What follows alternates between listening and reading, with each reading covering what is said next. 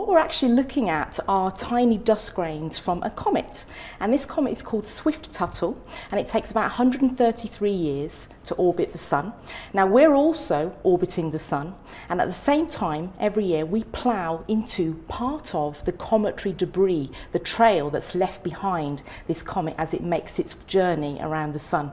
And as that happens we see lots of little bits of this comet plough through our atmosphere and they flare up and we see these gorgeous huge, bright streaks. The reason why they're so bright is because there's so many of these bits of cometary dust. We're, we're ploughing through quite high density region of this, uh, this essentially vapor trail of the comet.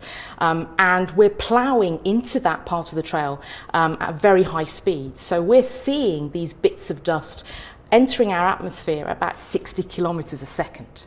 Um, and as they do that, they interact with our atmosphere and give off a lot of light um, because of friction and lots of other processes that are happening. Um, so this is what we're seeing, these little bits flaring up as they enter through our atmosphere. The majority of these bits are incredibly small. Some may be as big as pebbles, um, but they do all burn up in our atmosphere. So we're not going to see any, any bits reach the surface of the Earth. Um, you may have heard of meteorites, that some of these do uh, travel through the atmosphere and reach the surface, and we can pick them up and we can analyse them. Um, but meteorites originate from a different part of the solar system. Um, they come from a region called the asteroid belt, uh, which is a huge ring of rocks, um, which are very separate to comets.